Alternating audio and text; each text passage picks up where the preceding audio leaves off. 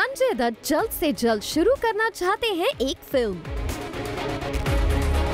आखिर किस फ़िल्म के लिए संजय हुए बेचैन?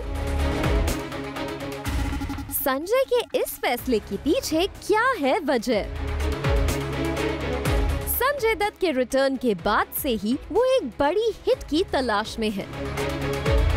संजय की भूमि और साहिब बीवी और गैंगस्टर थ्री को बॉक्स ऑफ़िस पर मिला बिलो दी एक्सपेक्टेशन रिस्पॉन्स अब संजय अपनी सबसे बड़ी हिट सीरीज़ मुन्ना भाई का कर रहे हैं बेसब्री से इंतज़ार। वही सोर्सेस की माने तो संजय रणबीर स्टारर शमशेरा की शूटिंग जल्दी शुरू करना चाहते हैं, ताकि उसकी शूटिंग के बाद वो सीधे मुन्ना भाई पार्ट थ्री की शूटिंग शुरू कर सके। अपेरेंटली संजय ने प्लान किया था कि वो अर्जुन कपूर स्टारर पानीपत की शूटिंग खत्म करते ही मुन्ना भाई थ्री एंड शमशेरा की शूटिंग साइमल्टेनियसली करने का प्लान बनाया था।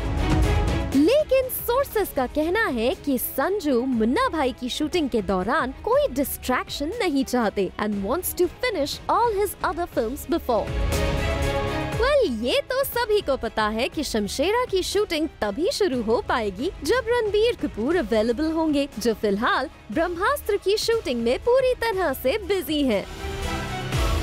अब देखना होगा कि संजय की मुन्ना भाई पार्ट थ्री की शूटिंग कब से शुरू होती है Sandesh Agate, Zoom, Mumbai.